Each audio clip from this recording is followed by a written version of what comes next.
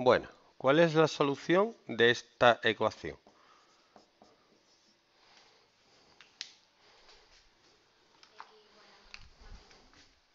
No.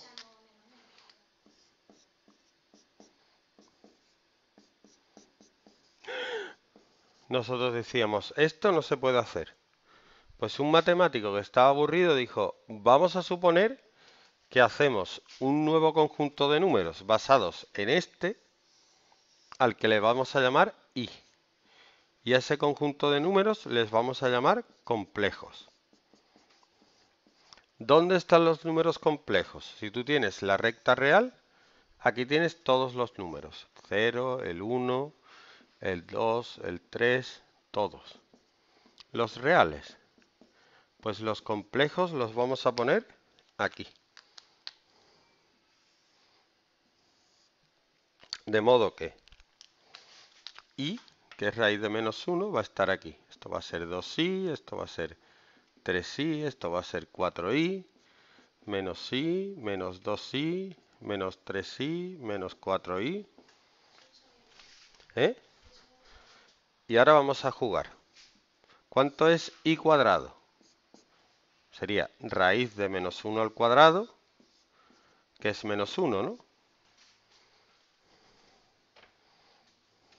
¿Cuánto es i al cubo?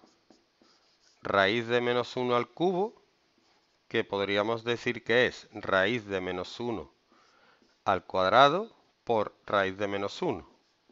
Esto es menos 1 y esto es i. Es decir, que i al cubo es menos i. ¿Cuánto es i a la cuarta? i a la cuarta es i al cuadrado por i al cuadrado. I al cuadrado es menos 1, menos 1 por menos 1, 1. Y así puedes ir calculando. Fíjate que se repite, porque i elevado a 5 sería i elevado a 4 por i. Es decir, i elevado a 5 sería i. ¿Mm? Se repite cada 4. Siguió jugando y dijo, mm, hay números que de verdad son reales. Es decir, 3 es un número real. ¿Vale? Y hay otros números que son puramente complejos. Por ejemplo, menos 3i es complejo. Pero yo puedo hacer números que tengan una parte real y una parte imaginaria. este le llamo parte imaginaria porque hay que usar la imaginación. Esos números no existen en la vida real. ¿Mm? Esto es un número complejo, ¿vale? Un número complejo tiene dos partes, la parte real y la parte imaginaria. En general lo puedes expresar así.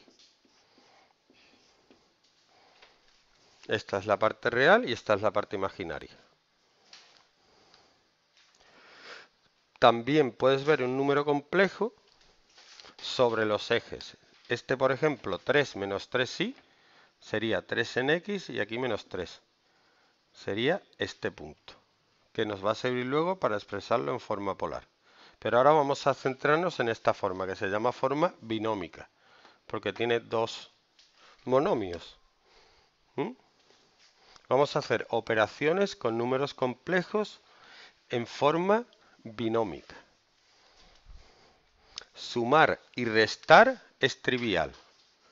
Si yo tengo que sumar este número con este número, lo que hago es sumar por un lado la parte real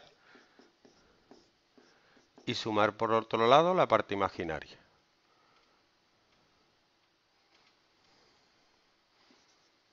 ¿Vale? Y restarlos es lo mismo. Ahora, multiplicarlos es un poco más divertido. ¿Por qué? Si yo multiplico este por este, me queda A por C, A por DI, más BCI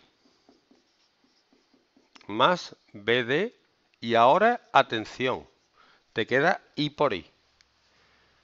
B por D por I por I. I por I es I cuadrado. I cuadrado quedamos que era menos 1. Así que esto queda menos BD. Es decir, que el producto tiene como parte real A por C menos B por D y como parte imaginaria A por D más B por C. Esto no es algo que te tengas que aprender. Simplemente te van a poner, por ejemplo, 2 menos 3i por menos 1 más 4i. Se hace. 2 por menos 1, menos 2. 2 por 4i, 8i. Menos 3i por menos 1, más 3i. y menos 3i por más 4i sería menos 12, pero como i por i es menos 1, quedaría más 12 lo escribo. Sería menos 3 por 4 por i al cuadrado. ¿Vale? Esto sería menos 2, 8i y 3i es 11i. Y esto sería menos 3 por 4 por i al cuadrado. Como i es raíz de menos 1, raíz de menos 1 al cuadrado es menos 1. Y esto es menos por menos más, 3 por 4, 12.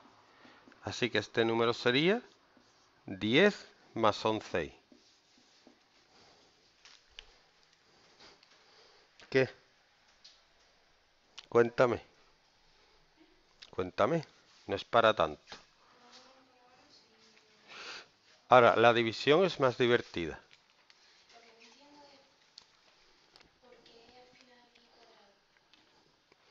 porque queda menos 3i por 4i. La división es más divertida. Mucho más.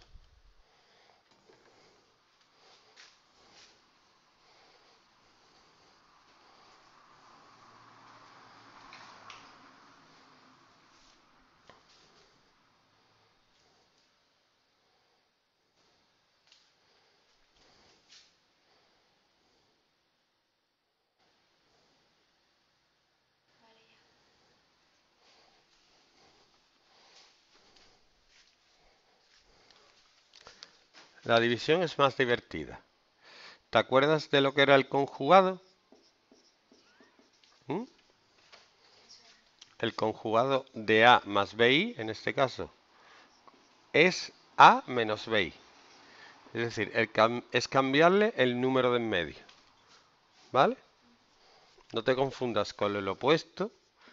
El opuesto de un número complejo es ponerle un menos delante. El opuesto de A más BI sería menos A menos B.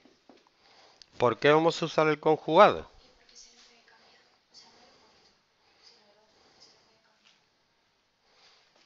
Wait. Imagínate que yo tengo que hacer una división. A más BI partido C más DI. Yo esto, en principio, no lo puedo dividir. No puedo. Pero puedo hacer un truco, que es multiplicar por el opuesto, perdón, por el conjugado del denominador.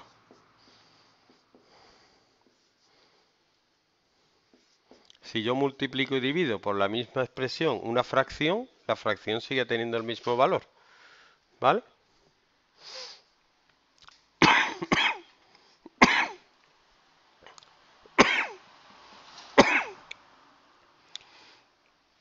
Si yo hago esto me queda Arriba no lo voy a desarrollar, ¿vale? Pero abajo me queda suma por diferencia. Esto es un producto notable. Que es c al cuadrado menos cuadrado del primero menos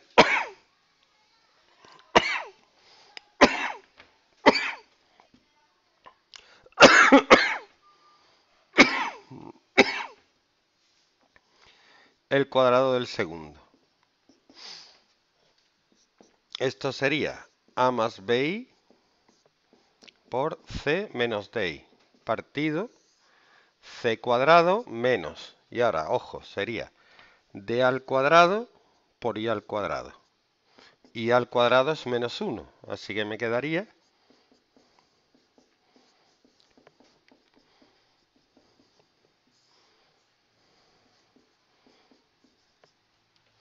cuadrado más d cuadrado. Esto es menos 1 con menos más. Un ejemplo.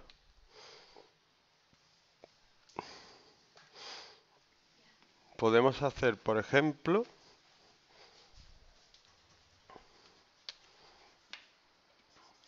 tres menos 4i partido 2 más 2i. El conjugado de 2 más 2i es 2 menos 2i.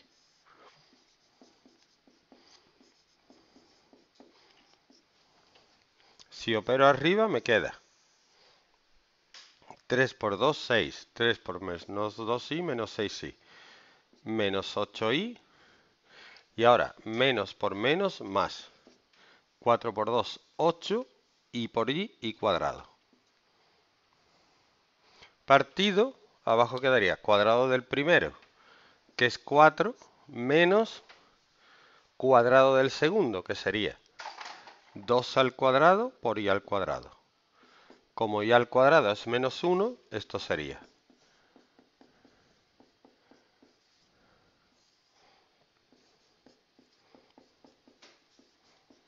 Aquí lo que he hecho es menos 1 con menos. ¿Vale? Y queda 6 menos 8 menos 2 menos 14i partido 4 más 2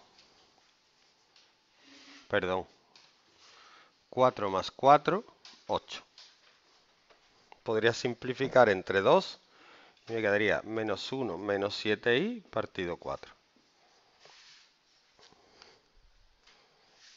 Esta es la primera parte. Los números complejos en forma binómica. Sí.